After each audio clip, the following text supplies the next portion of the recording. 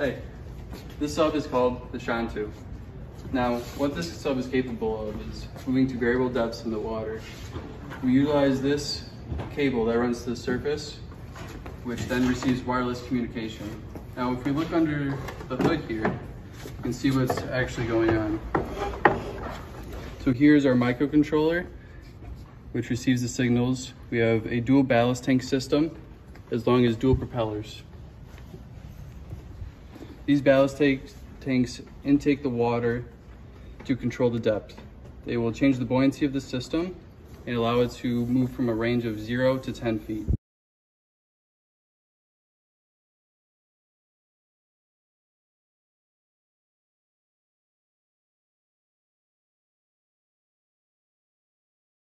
A quick explanation here. We have our TV remote connected to the IR receiver. The IR receiver comes into our submarine, into our first Arduino and our second Arduino.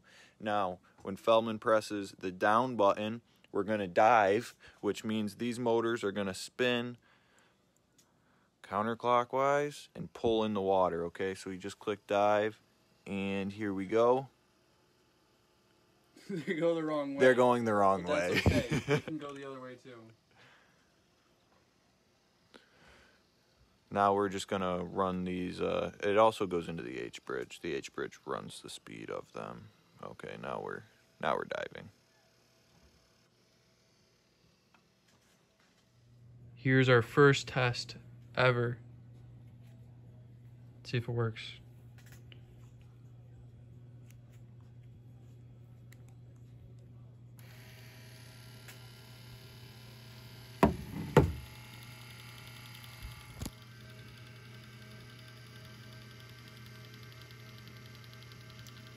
As everyone's predicted, it is working the first time.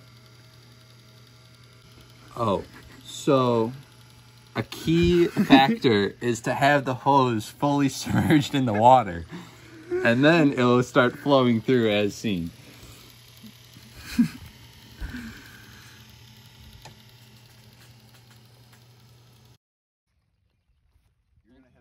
this video real nice, James. Wait, why don't you get on the other side? I'll push this side, you push this side.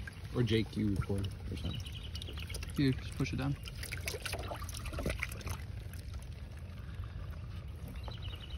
And then can we get the ballast tanks moving? Oh, that's good.